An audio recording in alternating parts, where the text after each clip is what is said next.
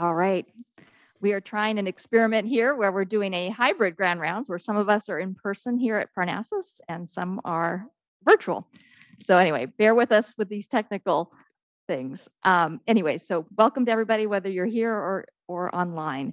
So it's my pleasure to introduce uh, Dr. Nancy Schoenborn, who has really done fantastic research on how we talk with patients about prognosis and cancer screening in order to promote more individualized care for older adults. And her work is really near and dear to my heart as someone who does a lot of um, work on cancer screening in older people. So I've really um, cited her work multiple times. Um, Dr. Schoenborn received her BA at Stanford and then completed a master's degree and medical school at Johns Hopkins, as well as completing a residency in internal medicine and a geriatrics fellowship at Johns Hopkins. And that now she's faculty there as an associate professor. I am actually, I still remember uh, being paired with her uh, through the AGS one on one mentoring program. Uh, where we were paired as a mentor mentee. And I would just remember being so impressed. This is when she was a fellow. Uh, I remember being so impressed with all her really innovative ideas. And she's really turned these really innovative ideas into an amazing research program. So it is just really my pleasure. And I'm so delighted to have her here um, to give UCSF Grand Round. So welcome. Thank you so much. Thank you so much for having me and thank you for that kind introduction. It's really a great honor and as you'll see, much of my work has really been inspired by and built on the work of many in this particular audience. So it's really a special privilege for me um, to be here with you today. I'll be talking to you today about the role of language in promoting individualized care of older adults. I have no conflicts of interest to disclose.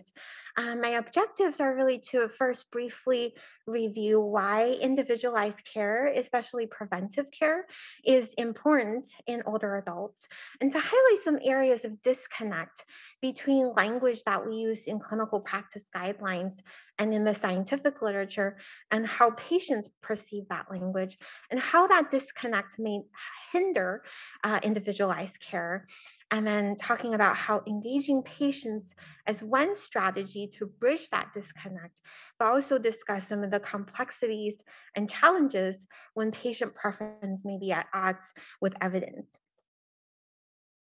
So here, I'm pretty sure I'm preaching to the choir here, you know, on why individualized care is important. Um, but just to make sure we're all on the same page, I'll start with a story about two of my patients from clinic. Um, I have Miss A, who's 65 years old, and so barely meets the age criteria for coming to our geriatric clinic, um, but unfortunately has already accumulated a number of serious illnesses and is limited in her mobility and homebound. So she's dependent on her daughter for a number of instrumental activities of daily living. And for her, her goal is really to focus on quality of life um, and symptom control. In contrast, I also have Miss B, who is older biological age, uh, 75, but is quite healthy and completely independent. Um, she's still working full time as an architect, and her goal is to continue that work and being able to travel to other states to visit her grandchildren. And so the question is, you know, how should we think about the preventive care for these two patients? Um, thinking about cancer screening decisions, how we approach their blood pressure or blood sugar treatment goals, should they be the same or should we tailor it to each individual?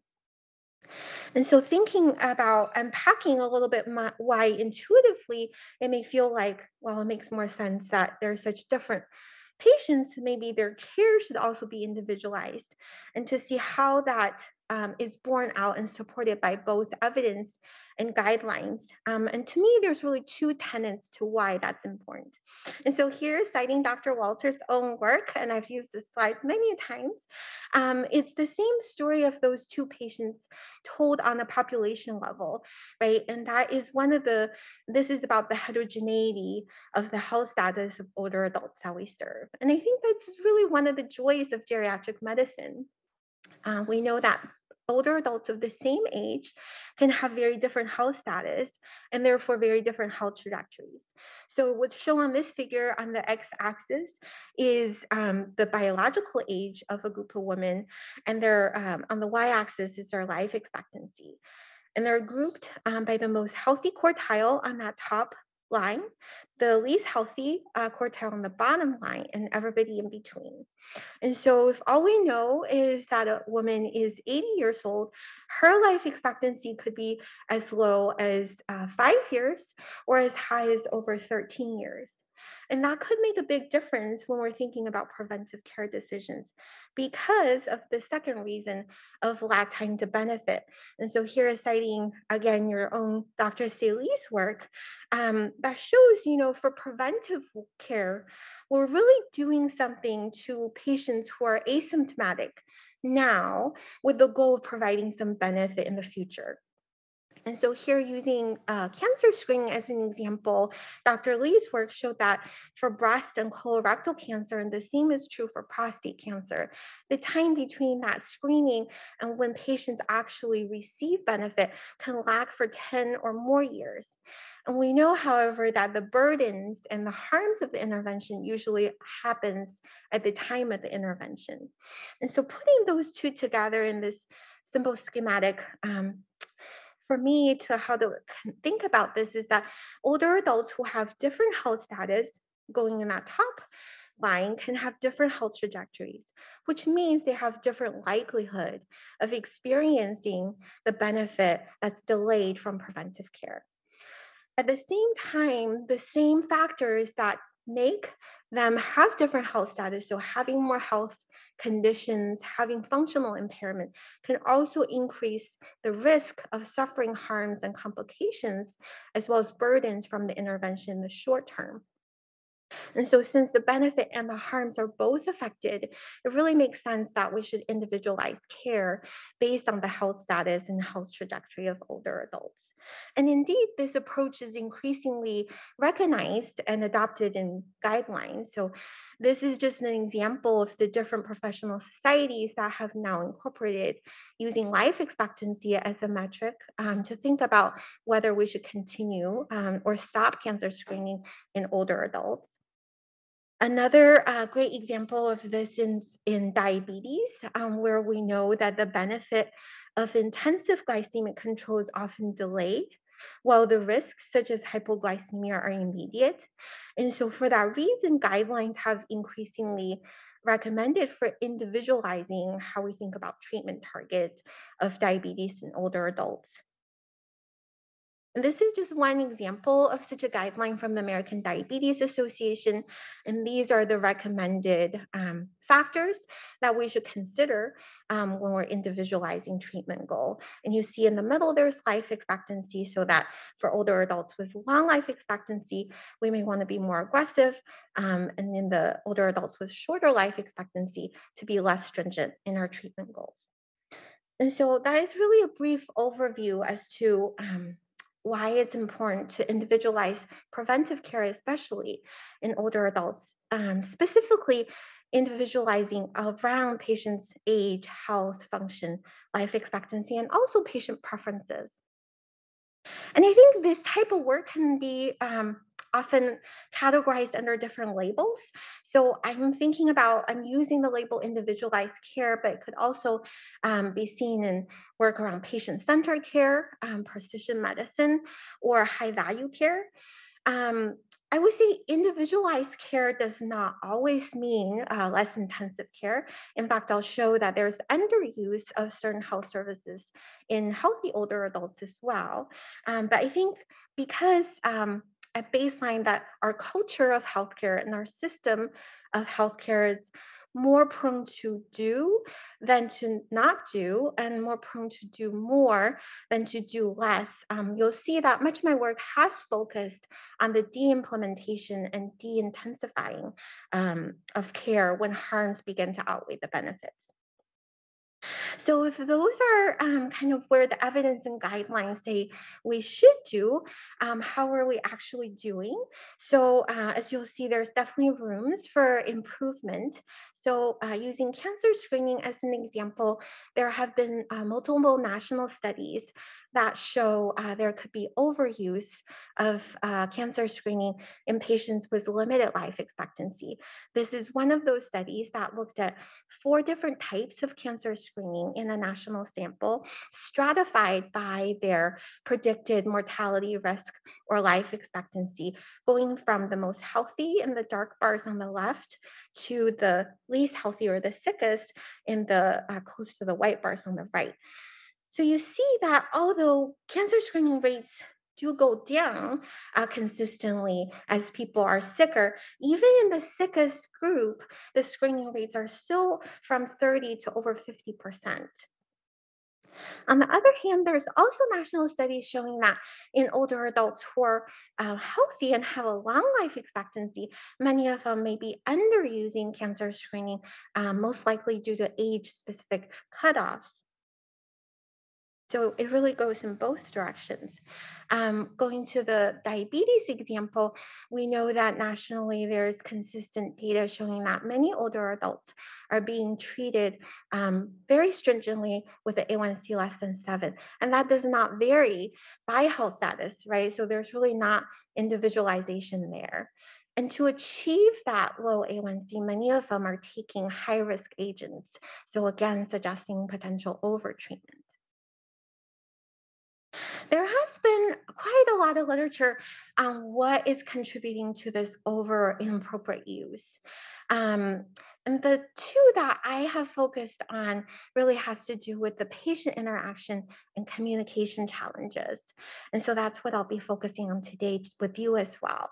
And so from some of the earlier work we did with clinicians, we found that clinicians really uh, reported that they were anxious and worried if they were to recommend de-intensifying care, that they would be perceived as giving up um, or judgmental. And it was not something that they felt equipped to do or to discuss. And they felt the conversation around these decisions to be particularly challenging. And so I was really interested to dig into this area a little bit deeper. So what I'll be sharing is some work that kind of um, what I labeled as disconnect, and I'll show you what I mean by that. And so this is a, a qualitative study we did um, interviewing community dwelling older adults. Um, and we really try to recruit um, people with very different health status. So we have some healthier ones and some with fairly limited life expectancy. And based on the clinician concern, we were really curious to see how um, willing they were to stop cancer screening and how did that recommendation make them think about their providers? Did it actually make them think about them negatively as the clinicians feared? Um, and we found at least in this particular study they were quite open uh, to the idea of stopping cancer screening um, because um, they trusted their clinicians. And so on the slide are just two quotes um, to demonstrate that. So one participant said, I have all the confidence in my doctor, and if she told me to stop it, I would stop. Another participant said, if the doctor says to me, we don't have to do this no more, I say, thank you very much, doc. I probably think more of him. And so that was quite reassuring to us, you know, based on the clinician concern that patients did not actually react negatively.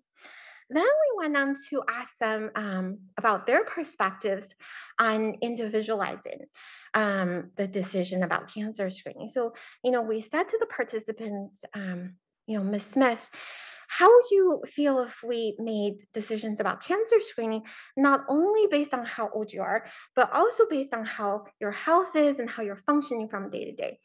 Everyone was very supportive of that idea. I thought it was great. We actually used scenarios to demonstrate what we meant, just to make sure that they understood and we were on the same page. And indeed, they seemed to understand. They we presented a scenario about a healthy older person, kind of like Miss B, and they thought it made sense to continue to offer screening. And then we presented a, a sick younger person like Miss A, and they said, you know, don't do it. Cancer is not going to be the thing that kill these people if they have all these other issues. So they also seem to be supportive of how to individualize Um, but the disconnect in this study we found was that they did not make the connection um, between all those things and life expectancy. And so um, there has been growing body of work looking at prediction um, models um, with mortality risk and life expectancy. And Dr. Sei Lee and others' work is one that I use often. Um, and across multiple these prediction models, we know that age and some kind of demographic factor um, some type of health um, conditions and health status factors, and some kind of functional information are really the main predictors we rely on for predicting life expectancy. And the older adults thought each of those individually were very important uh, to individualize the decision, but they did not equate those to be connected to life expectancy at all, right? So when we actually showed them um, verbatim some of the language from guidelines about how um, we should not continue to screen older adults with limited life expectancy, um, everyone pretty much hated that. you know, they, they didn't really understand why, um, you know, did not think that was a good idea. And so this was really a study that showed me there was a disconnect between the paradigm in the guidelines about using life expectancy as a metric and how patient perceived that not to be necessarily relevant. A second study I'll share with you um, was around diabetes. As you may recall, this was an earlier figure that showed these are the parameters uh, recommended by the American Diabetes Association as to um, what we should consider when we individualize treatment goal. And also there's a directionality as to how we should use each of these parameters to individualize. And so in a national study, um, survey of 818 older adults um, with type 2 diabetes, we asked um, about each of those parameters and um, in relation to their treatment um, regimen. So we presented a, um, one scenario was that if their A1C is eight, um, is any of these uh, parameters a good reason to add a medicine? Versus if their A1C is less than seven, is any of this a good reason to stop a medicine? So, for example, um, we asked if uh, having long life expectancy is a good reason to add a medicine um, when their A1C is eight, and whether short life expectancy is a good reason to stop a medicine when their A1C is less than seven. So we found that for each of the factors, um, they thought it was more relevant for adding medicine and less so for stopping medicines. In fact, almost half uh, thought none of these uh, factors were relevant uh, for deciding whether they should stop a medicine for diabetes. And so here, there was really a disconnect on um, the relevance of these factors that are in the guidelines to individualize, um, and especially in deprescribing, there seemed to be a gap as to how patients perceive their relevance. In the same study, we also was curious about the directionality of the effect. So for each of those parameters, we gave them examples of a person with life expectancy of five years versus 15 years. And we said, who do you think should be treated more aggressively? And we did that for each of the um, parameters.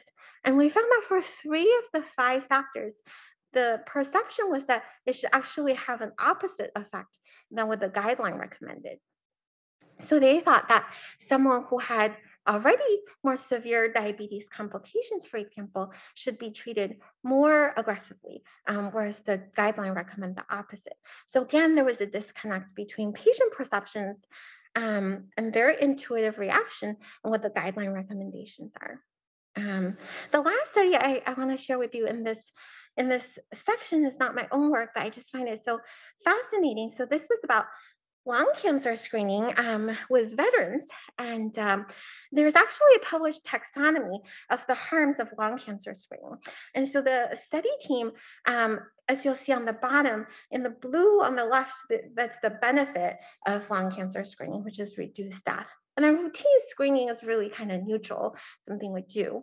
And then the red um, are, are the a number of harms or what we would consider harms of lung cancer screening. So significant incidental findings, um, having to go to a nodule clinic, have to get lung biopsies to figure out if the nodules are actually cancerous, over diagnosis, over treatment, false positives, and radiation.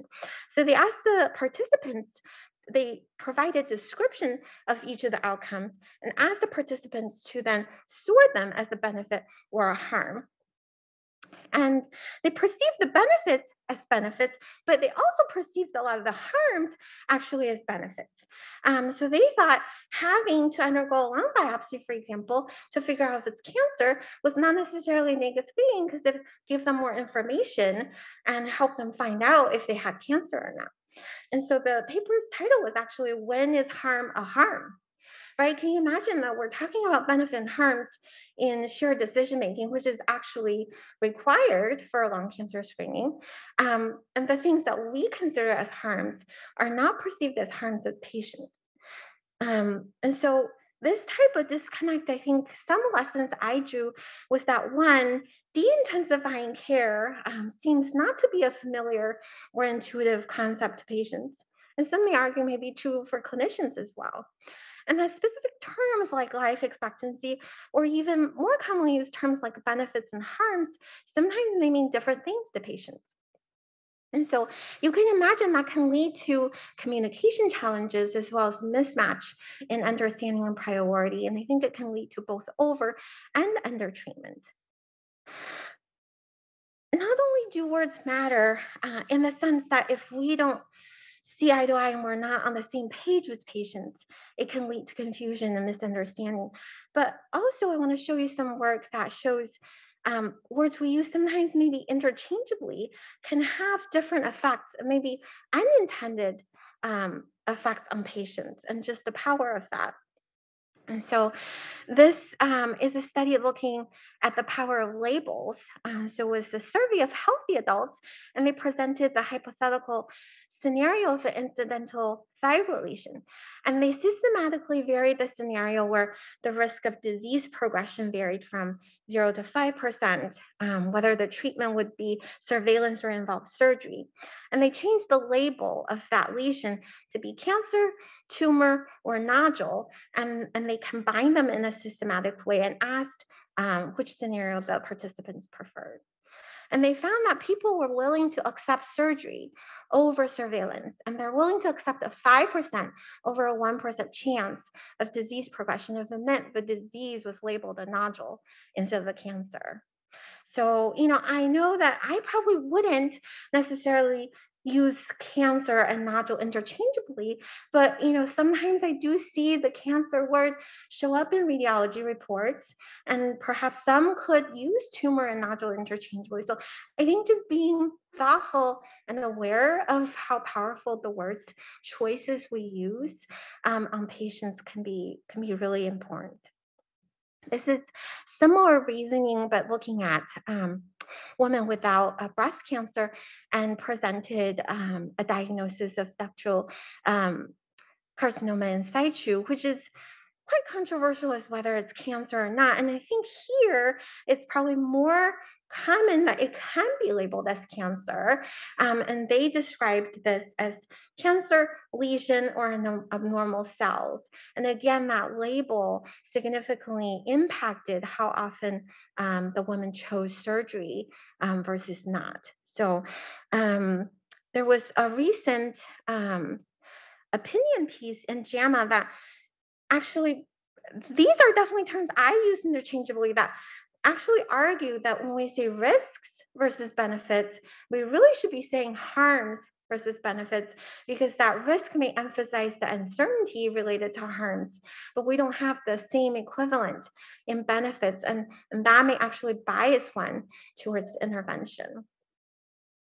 And then this was a study I really um, really loved reading. So this is a study that looked at language and diabetes and cardiovascular guidelines.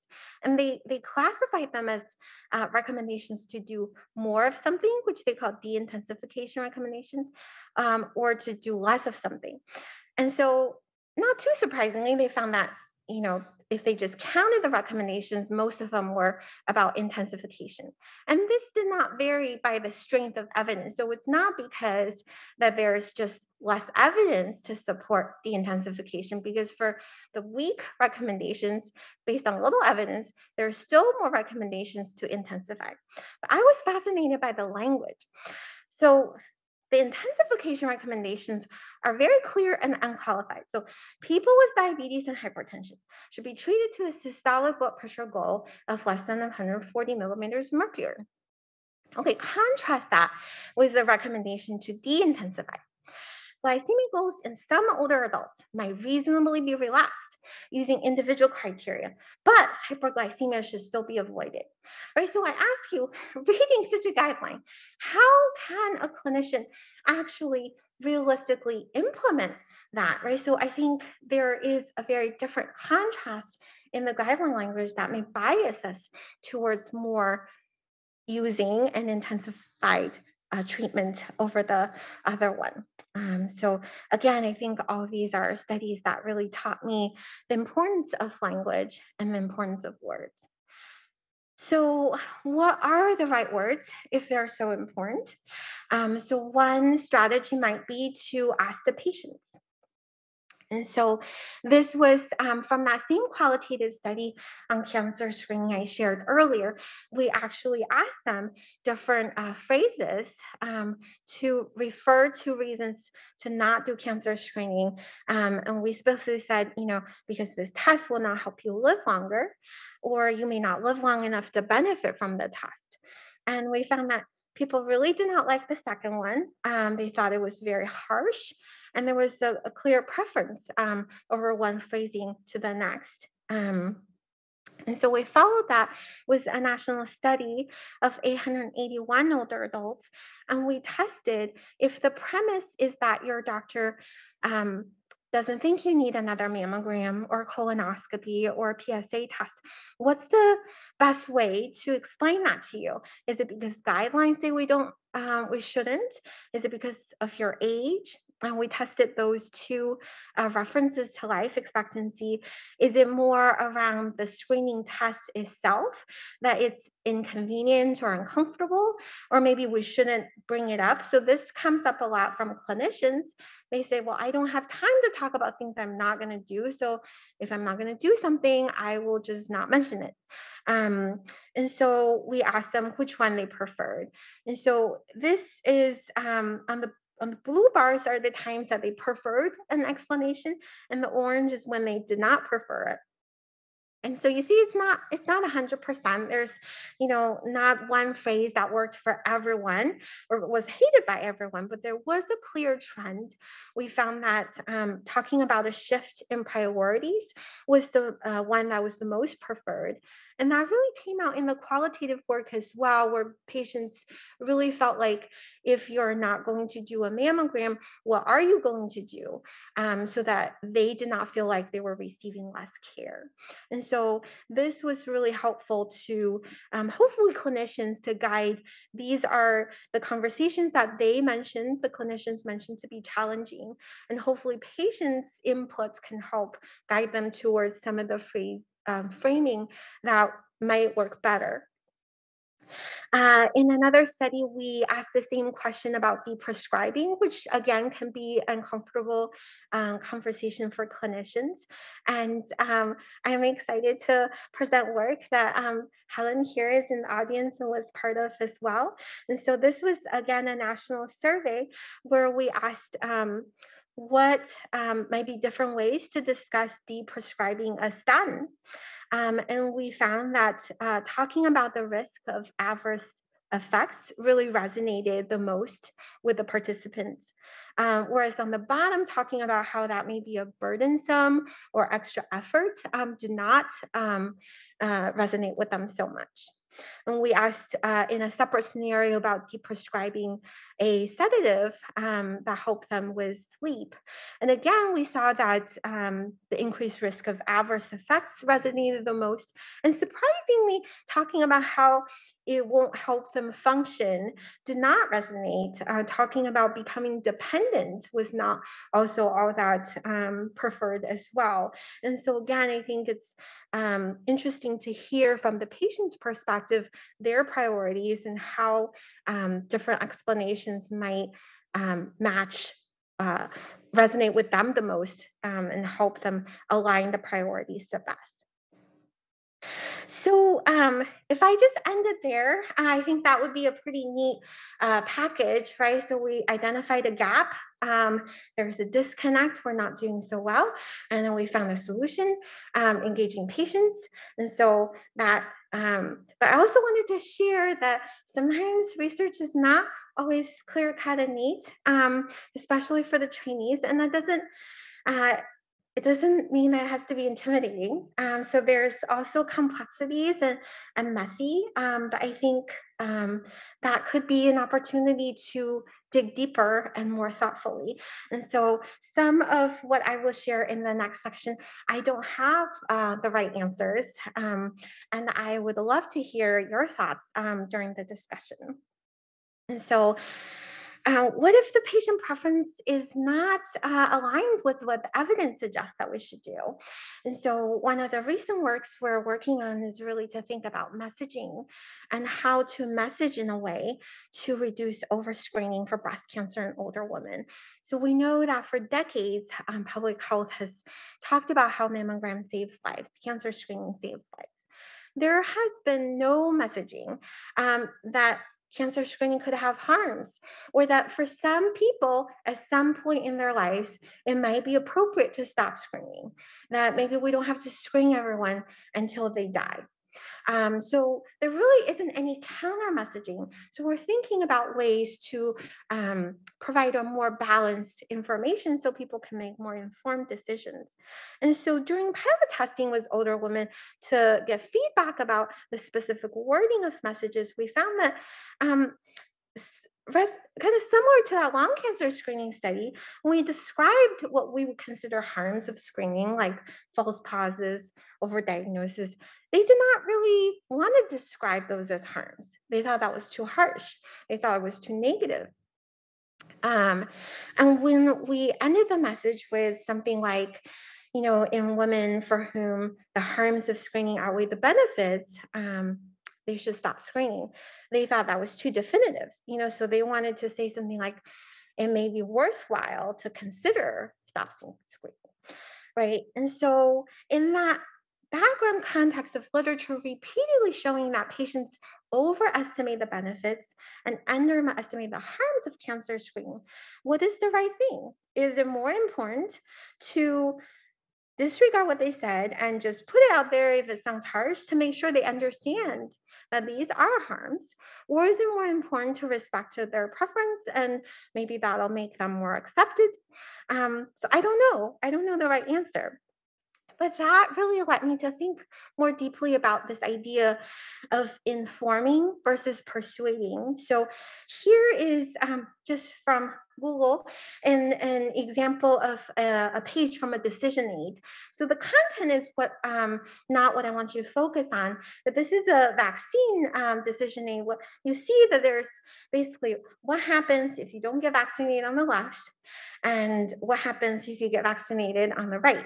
It's a very balanced information. In fact, for the international standards of developing patient decision aids, having balanced information is one of the key criteria. In contrast to what I'm going to show you on the next slide, and I'm going to warn you in advance that it can be very um, vocally alarming. It's from an anti-smoking ad. Um, and so here you see, um, in contrast, very powerful imagery um, and language that's really intended, I think, to evoke fear, guilt, um, aversion, right? And, and the information about why you shouldn't smoke are pretty tiny um, and you can't really read it. So, um, so that's really a, a, contrast here. The, the goal is really to persuade and, and less so to inform. And so is it ethical um, to persuade patients towards a specific decision? Um, when I looked into the literature, there really isn't a clear consensus, right? We're trying to balance. I know we have bioethicists in the audience, so I'm really interested to hear your thoughts. We're trying to really balance um, patient autonomy. So, does persuasion um, is it manipulative? Um, is it threatening patient autonomy? On the other hand, we're also obligated to promote benefit and minimize harms.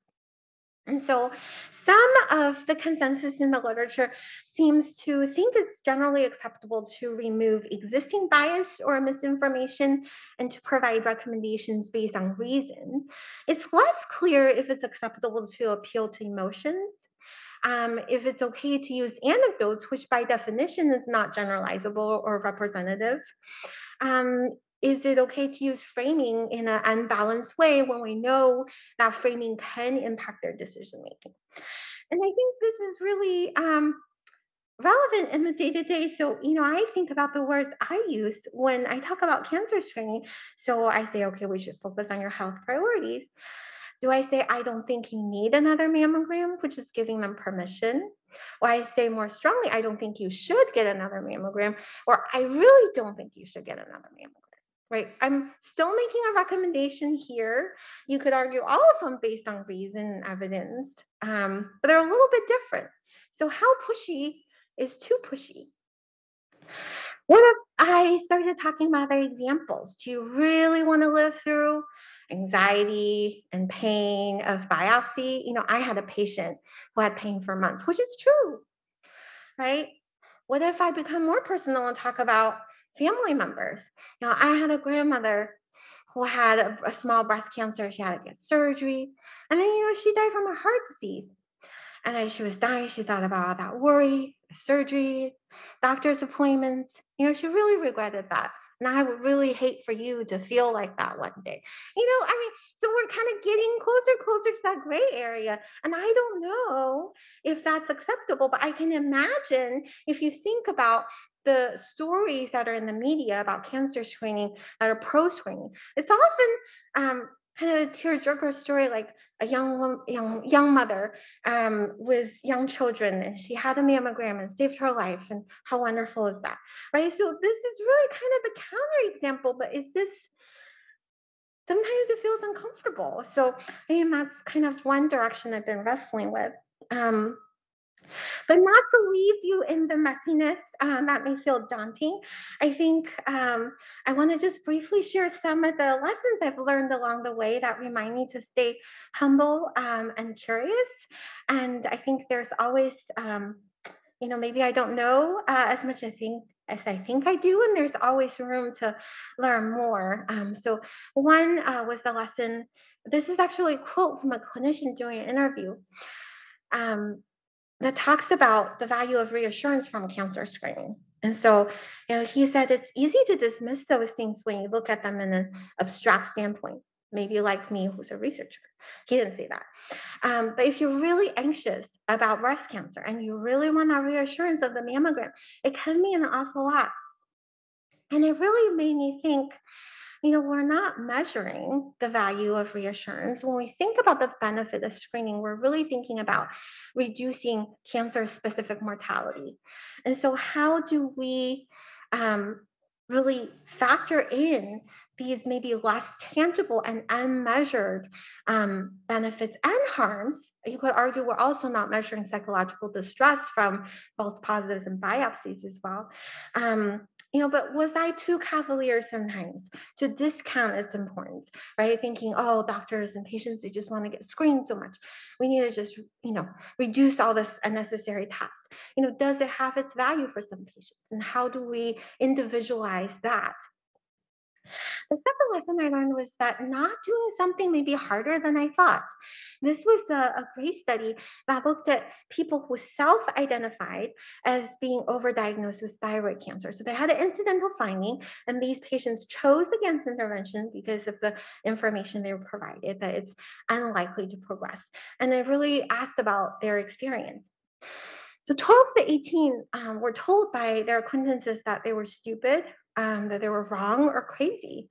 So much that um, 15 resorted to keeping this as a secret. And they all wish for more support. so it made me think about, you know, maybe I think, oh, just don't get a test. How hard is that? You know, are they getting pressured?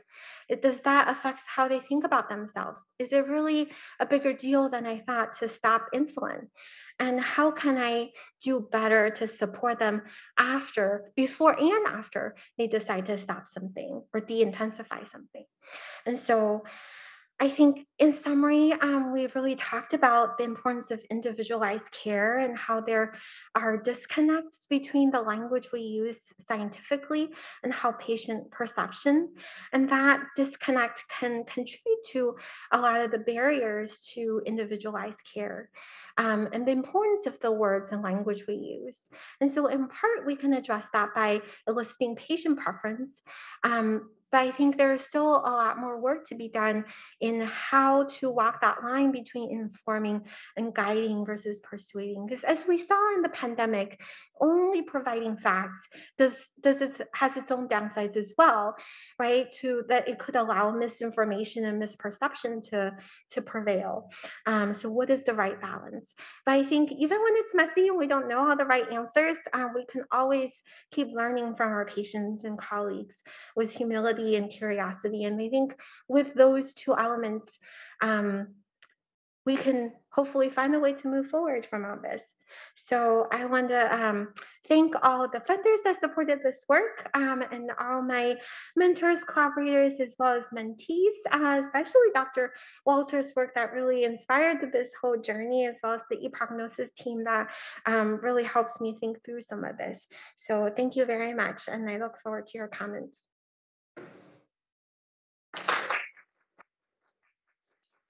Thank you so much. That was fantastic. So I have a couple questions and I'll turn it over to folks here in the room. So I was thinking about the, you know, that some some decisions are very preference sensitive where, you know, the the benefits and the harms are not that different, right? There's some decisions though where the benefits clearly outweigh the harms or or some where the harms are clearly outweigh the benefits. Is there a time where would that affect the strength of the recommendation? Because you talked about how persuasive should we be. Is there anything around like, you know, when something is just so much more likely to be harmful or so much more likely to be um, um, helpful versus the one that's kind of that toss up? You don't know? Yeah, no, I think that's definitely an important consideration that should be factored. And I, I think there's so much complexity. So, on the one hand, I think when you talk to the decision making folks, they really say the decision aid is only for um, when there's medical equipoise, right? When we don't know what the right thing to do, that's when shared decision making is the most relevant. Everything nowadays, I think it's it's being recommended for things that maybe the benefits and harms are not completely equal. And I think it makes it harder because it seems like such a a safe and always good solution to do shared decision making. Um, but we don't always know exactly what that looks like when the benefit and harms are not equal. Um, I don't think we're ever going to find examples like the smoking where there's absolutely no benefit health wise and complete harm, right? We're never going to have clear cuts like that. So, how do we approach it? On the other hand, you know, Terri Fried also wrote that opinion piece that's really pointing that we only shove the difficult decisions to patients for shared decision making and we save the easy ones we don't give them participation in that decision. And so i think i can see both sides and i think it's i think it definitely should be factored but how to factor it i don't know that we know exactly. So more study questions for people who are interested in this area. Terrific. Anyone here have any questions? Well, I'll take the prerogative to answer or ask another question because I'm very interested in how people um, respond that health, like talking about health priorities, that's not as scary as talking about life expectancy. Sort of tell me a little bit about what you found around that. Because again, I when I talk about stopping cancer screening, I, I will often say it's we need to prioritize all these other things that you that are currently causing you to have a problem, um, and that seems to be well received. Um, versus yeah, telling somebody, oh, you're not going to live long enough. I've I've never done that approach. But anyway, it's just interesting that there's a disconnect between health and and life expectancy. Yeah, no, there really is. I don't think I think life expectancy is very scary for a lot of people. So talking about, you know, I think we have a lot going on already with your heart failure and with your, you know, dialysis. And I really think we should prioritize taking care of those issues. And I don't think we need to focus on mammogram at this time. And I don't think you need another one. Um, but I think it's important to always tie that overall health goals because I know there's a lot of work, um, you know, by Mary Tinetti and others to talk about goal-directed care. I think it's important to still come back to the concrete, right? So if they say, well, my goal is to quality of life and not have pain, or my goal is to work as long as possible and to visit grandchildren. What does that mean for the decision at hand? And patients with coaching, perhaps, but without coaching, they may not always make that connection easily for clinicians to just take it on a plate, right? So sometimes we may have to say, given those are your goals, I think this is the most aligned choice do you think that's true or not true? And I feel like often I have to guide them a little bit into translating that goal into what the decision might look like.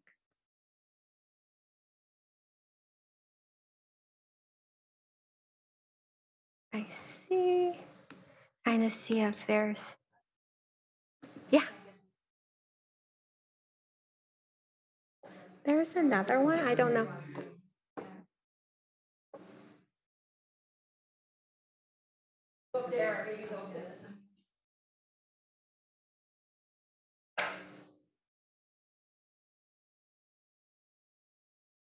Here's the second one.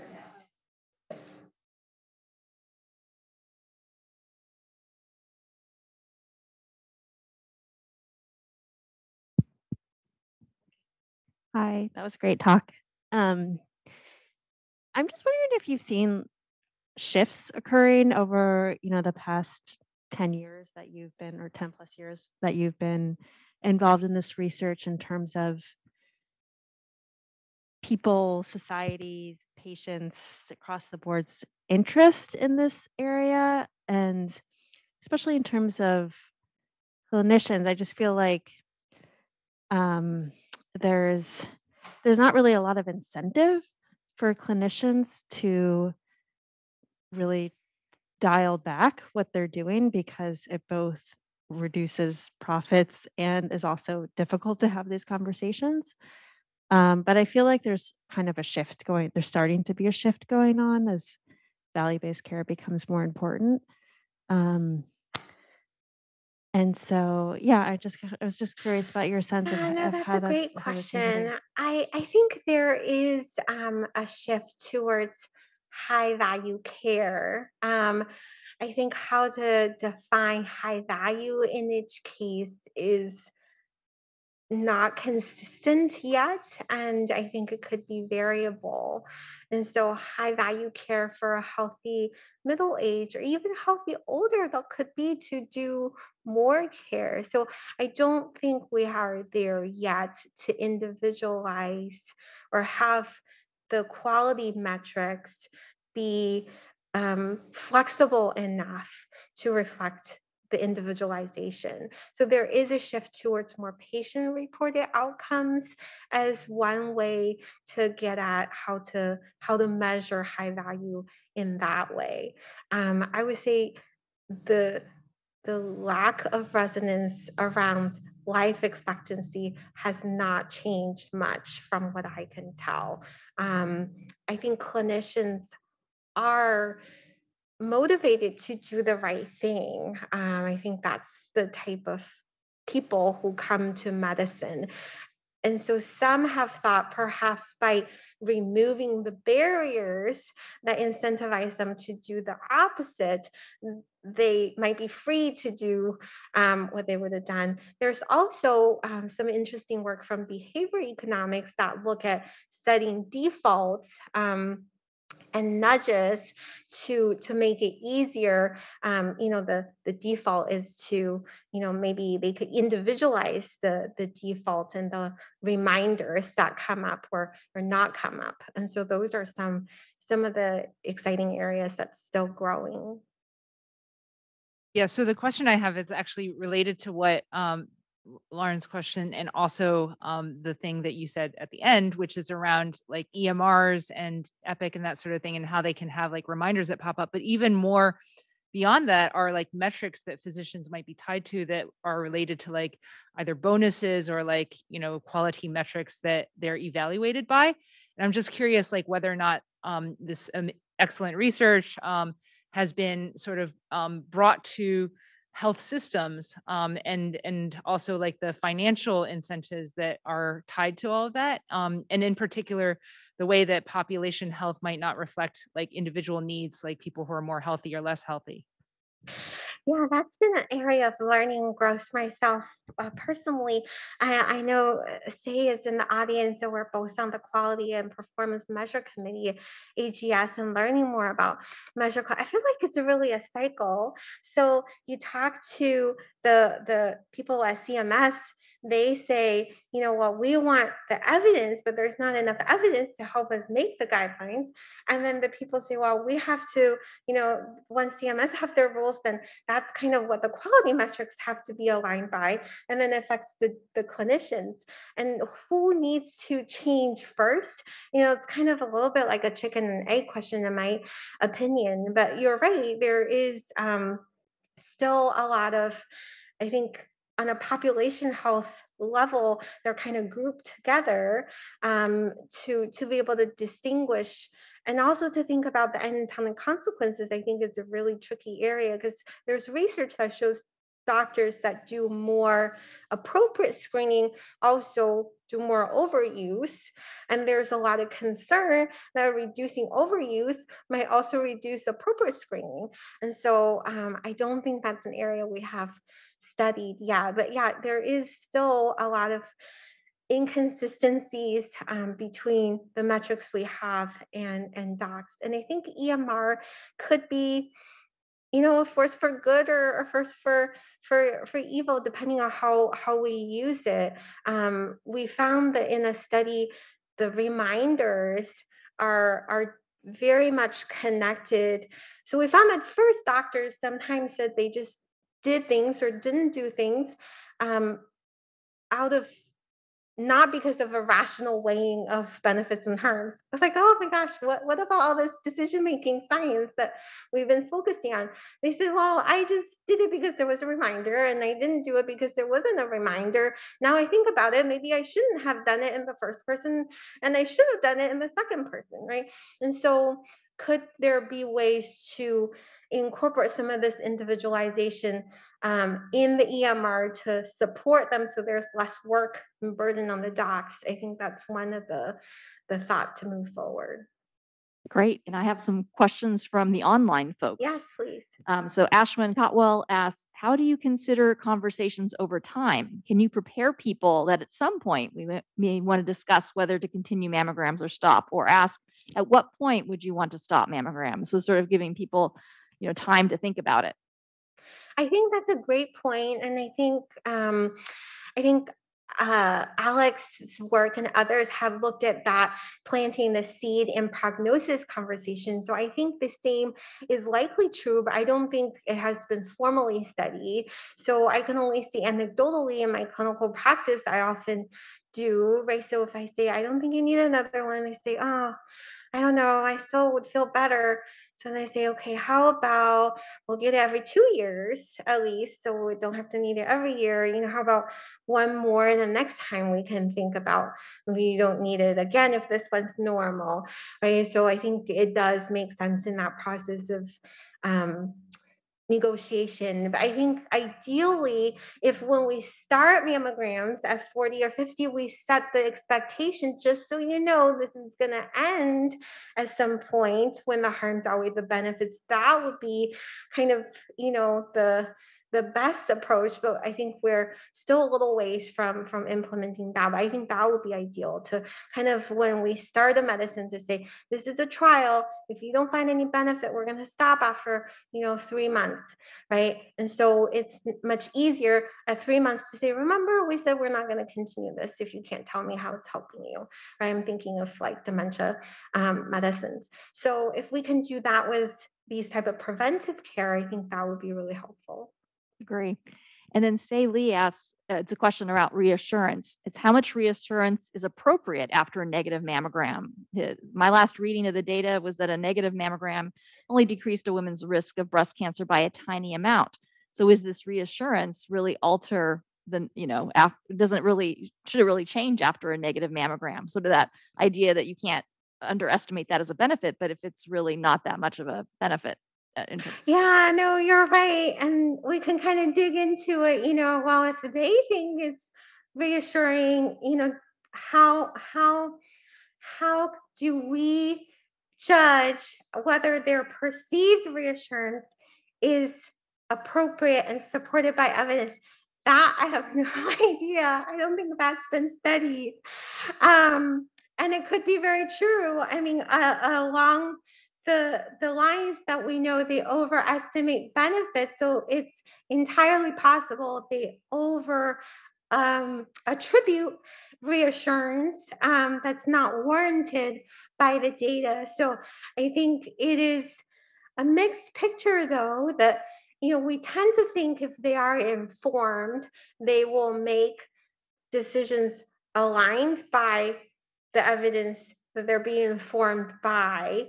And I think there is a trend, um, but it's hard to know how much. It's not. It's not everybody, um, and and how do you gauge how informed they are? I think in the clinical setting is the is the tricky question for me. And so, how do you know that they're actually overcalling it? Um, and and if they persist in that how strongly should i challenge it?